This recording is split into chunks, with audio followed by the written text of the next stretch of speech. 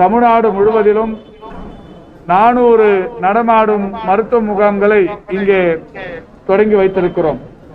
மாநிலம் முழுவதற்கும் இந்த நானூறு வாகனங்களின் மூலம் மருத்துவ முகாம்கள் தேவைப்படும் இடங்களுக்கெல்லாம் சென்று அந்தந்த மாவட்ட ஆட்சித்தலைவர்கள் அந்த மாவட்ட எல்லைக்குள் இருக்கிற மக்கள் பிரதிநிதிகள் உள்ளாட்சி பிரதிநிதிகளோடு தொடர்பு கொண்டு இந்த முகாம்களை தேவைப்படும் இடங்களுக்கு அனுப்பி வைக்கவிருக்கிறார்கள்.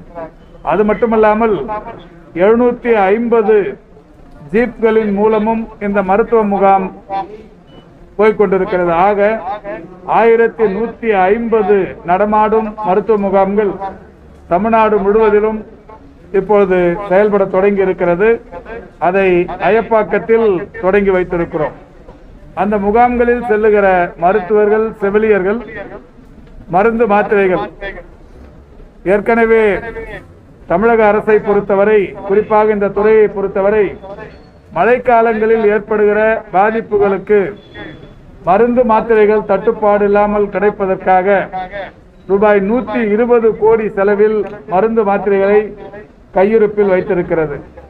எனவே தமிழ்நாடு முழுவதிலும் இந்த வடகிழக்கு பருவமழையை எதிர்கொள்ளுகிற வகையில் மருத்துவத்துறை மிக சிறப்பாக எல்லா காரியங்களையும் செய்திருக்கிறது. அந்த வகையில் மழைக்காலங்களில் ஏற்படுகிற பாதிப்புகள் குறித்த உணர்வையும் பாதிப்புகள் சம்பந்தமான செய்தியையும் பொதுமக்களும் அறிந்து கொள்ளுகிற வகையில் விழிப்புணர்வும் ஏற்படுத்தப்பட்டுக் கொண்டிருக்கிறது.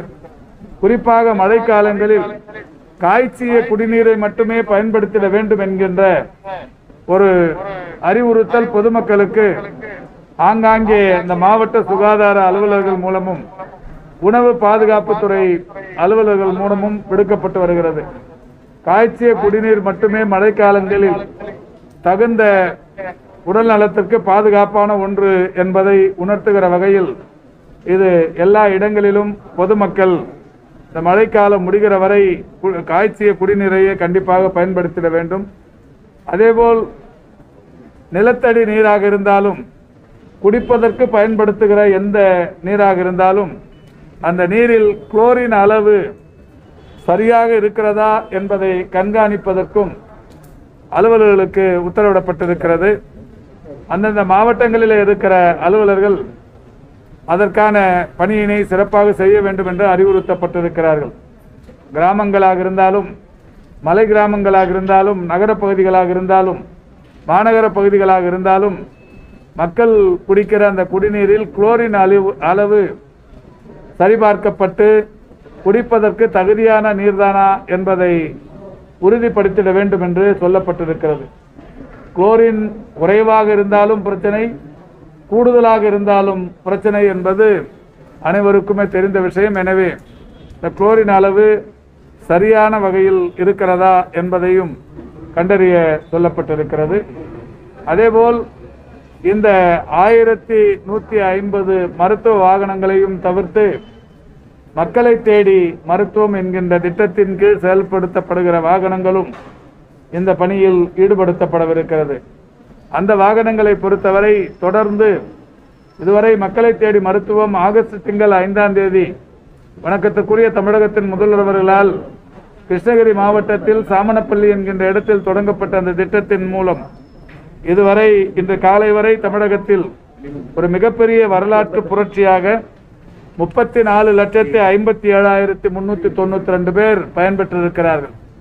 இந்த முப்பத்தி நாலு லட்சத்தி ஐம்பத்தி ஏழாயிரத்தி முன்னூத்தி முன்னூத்தி தொண்ணூத்தி ரெண்டு பேரில் உயர் இரத்த அழுத்தம் உள்ளவர்கள் என்கின்ற வகையில் பதினாலு லட்சத்தி முப்பத்தி ஏழாயிரத்தி எண்ணூத்தி இருபத்தி ஆறு பேரும் நீரிழிவு நோயாளிகள் ஒன்பது லட்சத்தி எழுபத்தி எட்டாயிரத்தி இருநூத்தி ஐம்பத்தி மூன்று பேரும் நீரிழிவு மற்றும் உயர் ரத்த அழுத்த நோய்களினால் பாதிக்கப்பட்டவர்கள் ஏழு லட்சத்தி பதிமூணாயிரத்தி இரநூத்தி ஐம்பது ஐம்பத்தி ஐந்து பேரும் பேலியேட்டிவ் கேர் டயாலிசிஸ் பிசியோதெரப்பி போன்ற பல்வேறு அந்த நோய்களுக்காக ஒரு மூன்று லட்சத்தி இருபத்தி எட்டாயிரத்தி ஐம்பத் ஐம்பத்தி எட்டு பேரும் ஒட்டுமொத்தமாக இதுவரை இந்திய வரலாற்றில் என் உலக வரலாற்றிலேயே வீடுகளுக்கே தேடிச் சென்று மருத்துவமும் மருந்துகளும் தருகிற இந்த மகத்தான மக்களை தேடி மருத்துவத்தின் மூலம் முப்பத்தி நாலு லட்சத்தி ஐம்பத்தி ஏழாயிரத்தி முந்நூற்றி தொண்ணூற்றி ரெண்டு பேர் பயன்பெற்றிருக்கிறார்கள்.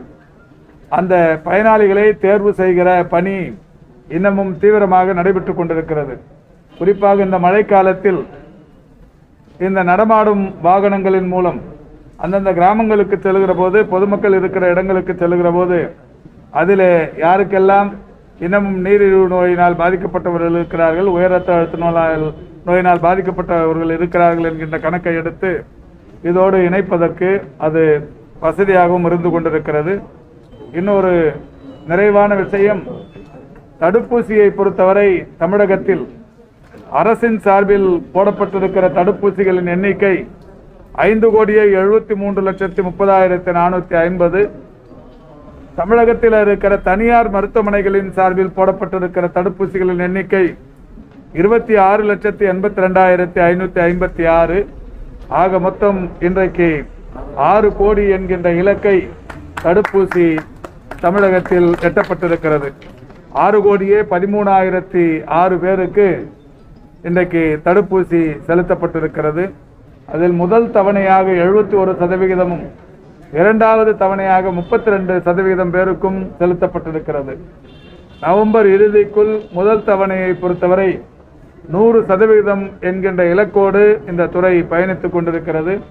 அந்த வகையில் மாண்புமிகு தமிழக முதல்வர் அவர்கள் ஏற்கனவே மெகா தடுப்பூசி முகாம்களின் மூலம் தடுப்பூசி போடும் பணியினை விரைவுபடுத்த அறிவுறுத்தினார்கள்.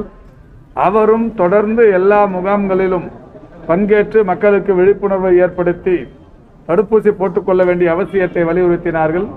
ஒரு எட்டாவது தடுப்பூசி முகாம் வருகிற பதினாலாம் தேதி நடைபெறவிருக்கிறது.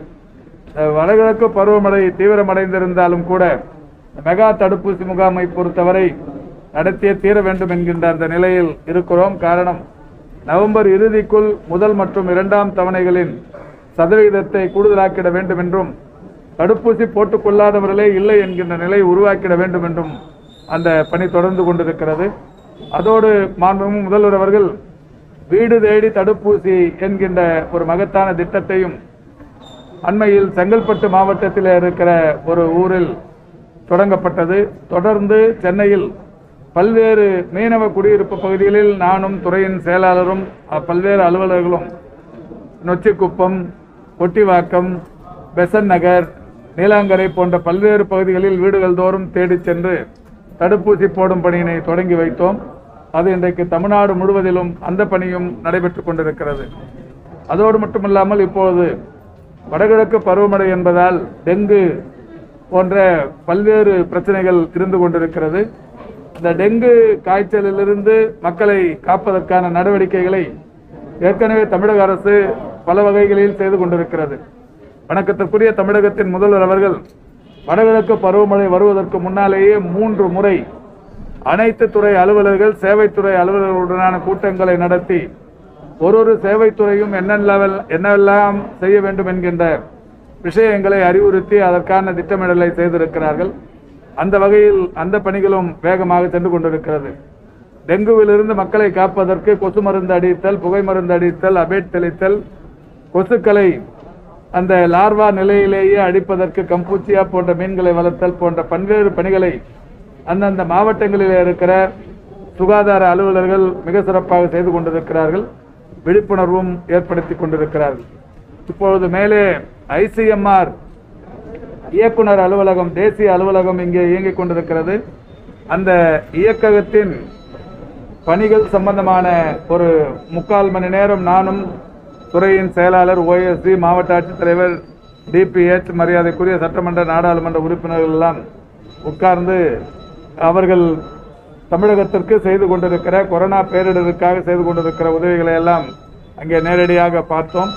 அப்பொழுதும் கூட இந்த டெங்குவுக்கான ஒரு சிறிய ஆராய்ச்சி பிரத்யேக ஆராய்ச்சி நிலையம் ஒன்றை அடிக்கடி ஆண்டுதோறும் அதிகமாக டெங்கு கண்டறியப்படுவது என்பது நெல்லையிலும் தென்காசியிலும் கூடுதலாக இருக்கிற காரணத்தினால் சென்னை போன்ற மாநகரங்களில் அதற்கான வசதிகள் ஆராய்ச்சி மையங்கள் இருக்கிற நிலையில் தென்காசியிலும் நெல்லையிலும் அந்த டெங்குவுக்கான ஒரு பிரத்யேக ஆராய்ச்சி மையத்தை ஐசிஎம்ஆர் சார்பில் அமைக்க வேண்டும் என்று சொல்லியிருக்கிறோம்.